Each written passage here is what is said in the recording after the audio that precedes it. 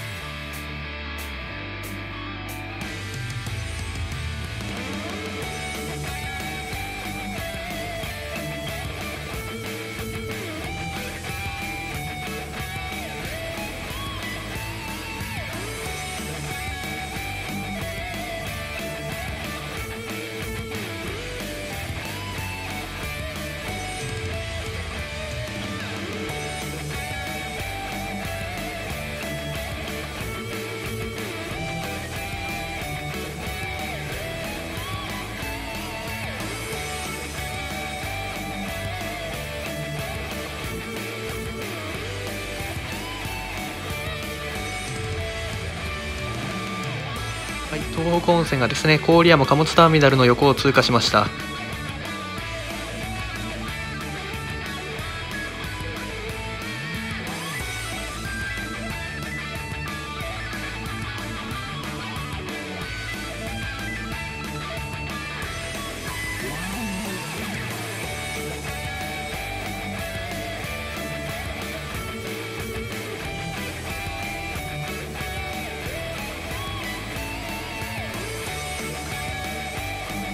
え水運線がですね今郡山貨物ターミナルの前を通過しました。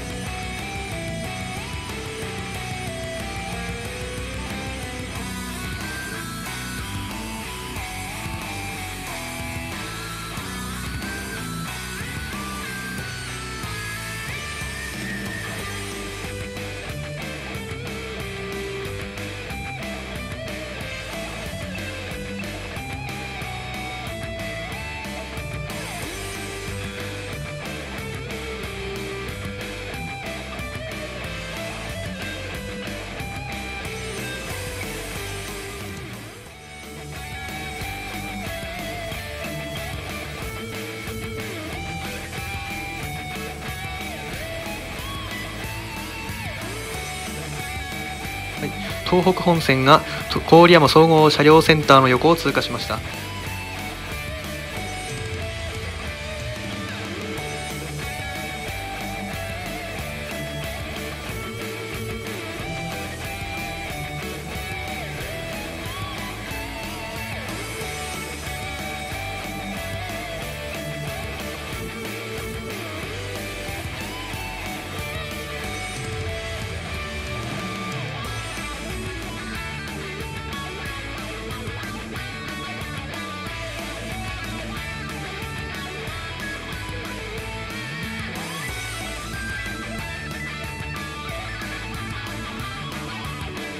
はい。水軍線が郡山総合車両センターの横を通過しました。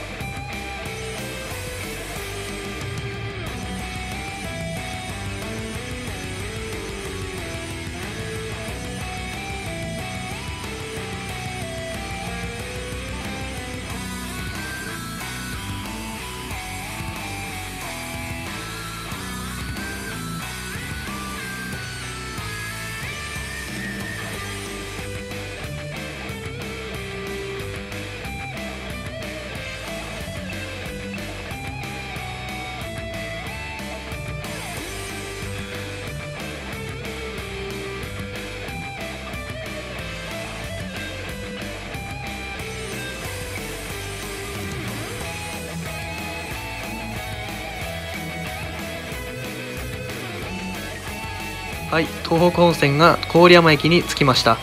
この勝負東北本線の方が勝ちということになりますね。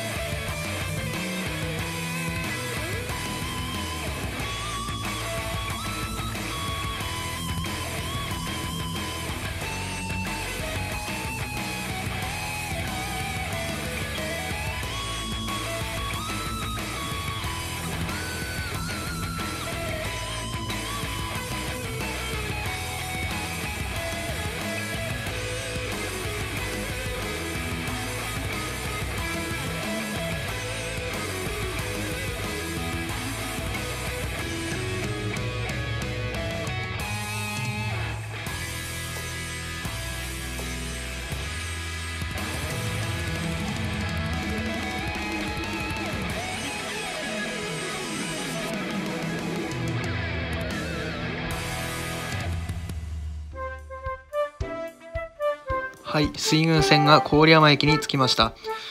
これでこのレースは終わりになります。こう、えー、東北本線と水郡線はね結構2分近くは差が開くんですね。これはねまあ確かに東北本線の方が加速は速いでしょうけども。まあでもこんなにねつくもんなんですね。加速力の違いでこんなに差がつくのは走りませんでした。じゃあご視聴ありがとうございました。